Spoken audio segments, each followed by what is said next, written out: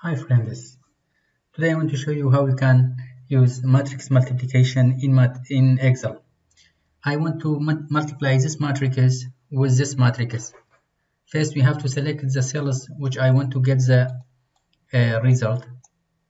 Okay, that is the, uh, the cells I want to put the result as then equal MMULT okay specify first array. Okay then the symbol and the second array. You have to press ctrl shift and enter otherwise you get only the result for one cell. Ctrl shift enter. Yes that is the multiplication of matrices in the excel. Have a nice time